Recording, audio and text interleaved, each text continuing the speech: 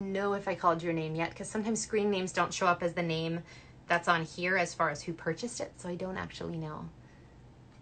Um, I don't. The name sounds really familiar. Is she a voice actress? Hisako Kayo? Kayoko is Hisako Kayoko a voice actress that I should know? Probably. She probably voices some of the characters that I do the English version of